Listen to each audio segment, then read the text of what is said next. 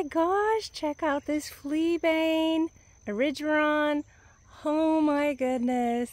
It is so beautiful, this plant.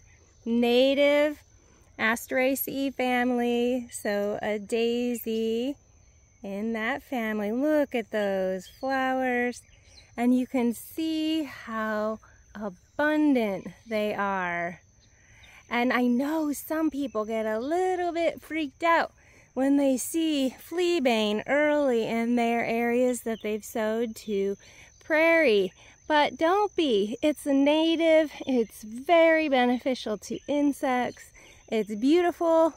And they're just early successional. So they come up in those first couple years when a lot of the other plants are not yet established. And then they fade away and you get some other kinds of diversity. So this, just think of as your, your early showstopper. The really early, super exciting, beautiful native that is so resilient and hardy and they're paving the way for some of the other species that you've planted. Look at them. They are remarkable.